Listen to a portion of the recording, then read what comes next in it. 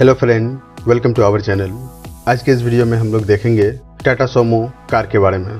तो चलिए इस वीडियो को करते हैं स्टार्ट और देखते हैं इस कार की खासियत के बारे में।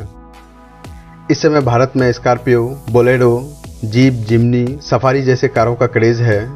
ये गाड़ियाँ पिछले 10 सालों में लोकप्रियता के चरम पर पहुँच गई है। लेकिन एक वक्त था जब सिर्फ़ एक ही गाड़ी का क्रेज होता था। सरकारी अधिकारी हो या मंत्री हो या उद्योगपति हो, ये सभी लोग एक ही गाड़ी के दीवाने थे। और वह है टाटा सोमो। समय बीतने के साथ टाटा सोमो का क्रेज फीका पड़ गया, लेकिन अब एक बार फिर टाटा मोटर्स ने टाटा सोमो को लॉन्च करने की तैयारी शुरू कर दी है। आने वाले दिनों में हम टाटा सोमो को सड़कों पर दौड़ते हुए देखेंगे नई लॉन्च हुई टाटा सोमो का नया लुक शानदार है।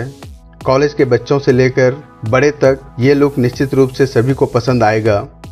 इस नई कार में कई हाईटेक फीचर्स दिए गए हैं और सेफ्टी फीचर्स भी शामिल किए गए हैं। Touch screen infotainment device remote AC control music system adjustable steering wheel adjustable driver seat जैसे बेहतरीन फीचर्स हैं।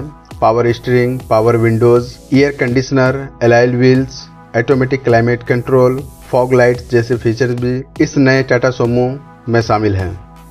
आने वाले न्यू टाटा सोमो 2023 में अलग माइलेज वाले वेरिएंट मॉडल मिल सकते हैं, जो देखने में आकर्षक और तगड़े माइलेज देने वाले होंगे। अनुमान है कि इस गाड़ी को डीजल वेरिएंट में लॉन्च की जाएगी और 20 किलोमीटर तक का माइलेज दे सकती है। इस गाड़ी की कीमत करीब 12 से 13 लाख रुपये होगी। इस टाटा सोमो की एक शोरूम कीमत नौ लाख नब्बे हज़ार रुपये के आसपास हो सकती है। महिंद्रा थार की पहले बहुत क्रेज थी। ये देखकर महिंद्रा कंपनी ने थार को रिलीज़ किया और अब महिंद्रा थार की बहुत डिमांड है। इसी तरह टाटा सोमो अभी भी लोगों में क्रेज दिखाई देती है। अगर कंपनी इस साल टाटा सोमो को अच्छे तरीके से लॉन्च करेगी तो फिर एक बार टाटा सोमो देश की ज़बरदस्त एसयूवी बनकर स्कॉर्पियो और बोलेरो को टक्कर दे सकती है। तो दोस्तों, आज के इस वीडियो में इतना ही। अगर ये वीडियो आपको इन्फॉर्मेटिव लगा है तो इस वीडियो को लाइक और शेयर करें। तथा इस चैनल में बने रहने के लिए इस चैनल को सब्सक्राइब करें। Thank you for watching this video.